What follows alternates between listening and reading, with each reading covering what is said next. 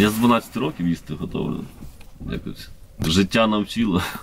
Я готую е, практично все. Я люблю борщ. Борщ військовий 129-ї бригади територіальної оборони з позивним адмін називає своєю коронною стравою. Навички дитинства згодилися й на службі. Бойовим побратимам готує саме він.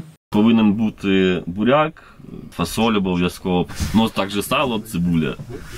Е, Готую з тих, що продуктів, що привозять. Імпровізований холодильник у бійців на вулиці, кухня в бліндажі. Харчі від гризунів допомагають охороняти кішки. Продукти докуповують, говорить, у місцевих овочі селяни бійцям продають залюбки.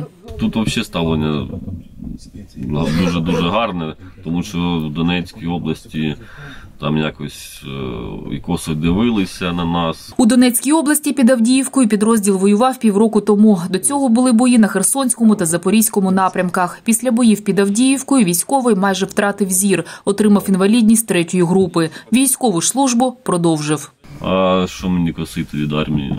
Ну, зараз поки є чим е, е, допомагати, допомагаю.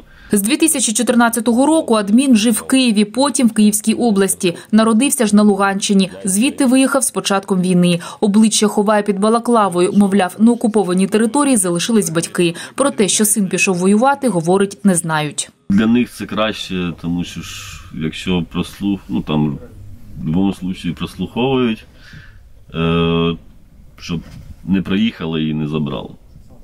Війна, згадує боєць, зустріла його в Гостомелі. Адмін пам'ятає удари по місцевому аеропорту, а також розстріли мирних мешканців. Я дві, двічі втратив дім в Луганську і в Гостомелі.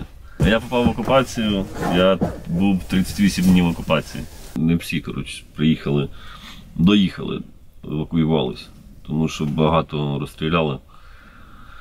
Дві сусідки поранило, одна загинула. Хлопець 14 ро- йому 14 років. е, Там з мамою був, то осколок йому через шию пройшов. А потім вони зайшли, почали евакуювати з поранених, ті ж, що самі обстріляли.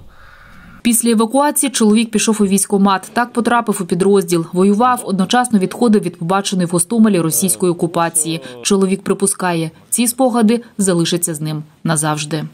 Діана Крахматова, Андрій Крамченков, Сергій Коваль. Суспільне новини. Сумщина.